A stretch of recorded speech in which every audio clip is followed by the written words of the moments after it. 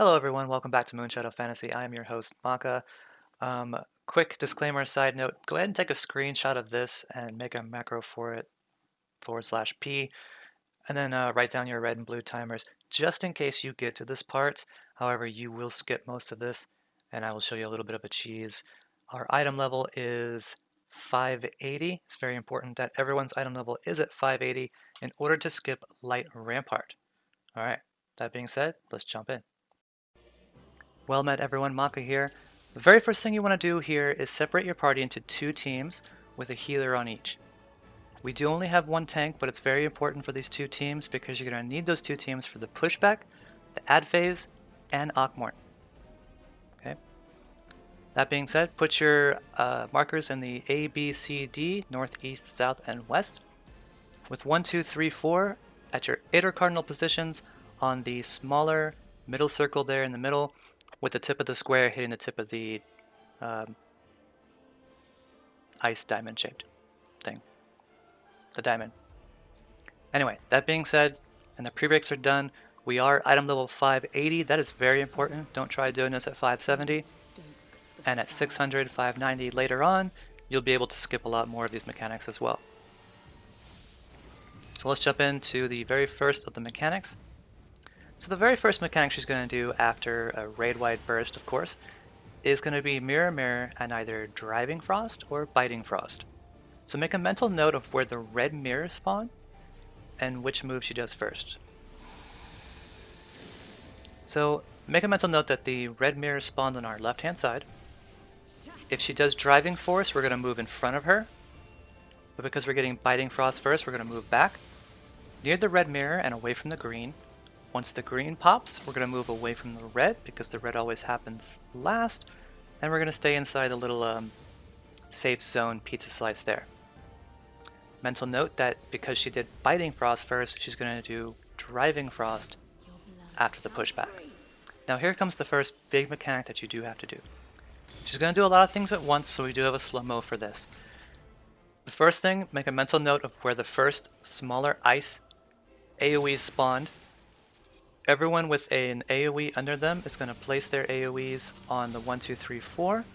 We're going to move and face our directions where the first original ice markers formed to do a pushback, and then we're going to run back towards the center to deal with our driving frost. Now here it is again in slow-mo. She does the big ice. She puts an ice debuff on two players. Healers Esuna that off. Four AoEs are going to go on the 1, 2, 3, 4. Make a mental note of your teams and where the ice spawned originally. So the first ice spawned on our east and west positions. So we spread out into our two teams. Well, in the middle there, we get into our two teams for the pushback. We wait for that um, burst to go off, the flare.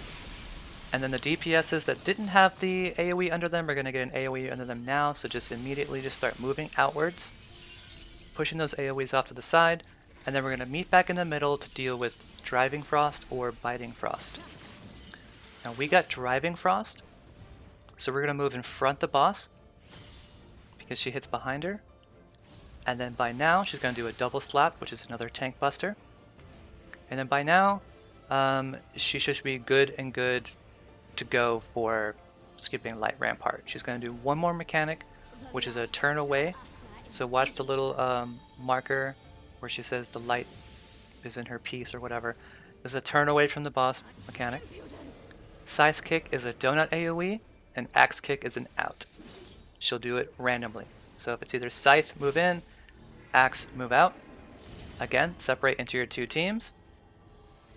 Because now you've reached ad phase and you've skipped light rampart and you don't have to worry about it. I know there's a lot. And the ad phase is very simple. Well, the only thing you need to do is make sure that there's a healer on each side. Everyone gets a healer. Never mind me, I'm just trying to get rid of the uh, party finder list. And then one ad is going to have a tether tied to them. So each player, there's going to be four players on each map. Each player takes the tether and takes one hit from that tethered ad. All the other ads, you don't have to worry about the mechanics for them. They die almost instantly. It's just the tether needs to be needs to go to one individual person. Other than that, ad phase, nothing to worry about. You'll breeze right through it. Um, as far as the pushback goes, it's important to note that where that where the white ice circles spawned first could be left or right, it could be north and south. But that's why we did the two teams, so that we could get pushed back into those two sections with ease and everyone knows exactly where they're going. Put a marker on the healers, one and two, um, and then just go to those positions. You know, you leave the AoEs at the one, two, three, four marker, and then move back into the center, deal with your pushback, wait for the hit to go off, come back in, avoid the AoEs from the DPSs that get the chasing AoE, and that's it. It's just markers, pushback, come back in. It's a lot easier than any of the other guys make it out to be. Um, after the ad phase, you're going to get a cutscene. We skip that. And then here's the very last thing you need to do. So at the very start of this phase, what we're going to do is separate into our two teams.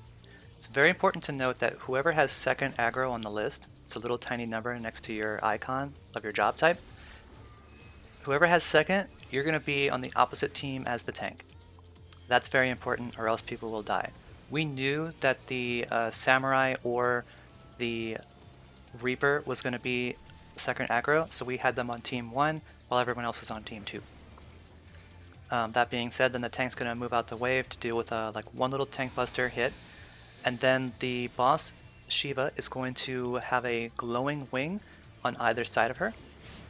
So what we're going to do is we're going to move from one side of the map to the other, avoiding her glowing wing, while also avoiding the, the green mirrors on the side. And just like in phase one, she, uh, the green mirrors go off first, followed by the red. So we're just moving from side to side, bringing the burn, and avoiding the hits from the mirrors. After that, she will spawn a little tiny dragon head on the outskirts. So remember the screenshot I had you take in the beginning? Make note of the color debuff that you have and what number it is. If you're the lowest number of a dragon head or a puddle, you're going to go and claim your dragon head if you have the red buff, touch it, come back to the group while avoiding the, the wings, and then if you have the lowest number blue, you're going to go and claim the puddle. Now, I had the lowest number blue, so watch me cheese this and just forget about it and not worry about it and just kill the boss. Usually, every person uh, has to go and claim a dragon head or a puddle, but because we're unsyncing this and kind of cheesing it, no one else besides maybe one person needs to deal with dragon head and puddle. But again, you can cheese this and just let the one or two people die and just keep the burn going. Um, especially if your item level, once we're all 600, 590, you will not have to deal with Dragon Head or Puddles at all. That being said, that's the fight. I hope I explained everything that needs to be explained, and this helps you um, with unsyncing with your FCs and party finders. Let me know if you have any questions or comments below, and I wish you the best of RNG luck. Stick together, get it done. It's only a six minute fight, and if you stick together and split off into your two teams, you will all have your amounts in no time. Thank you very much for watching. Please like, share, and subscribe. Maka is out.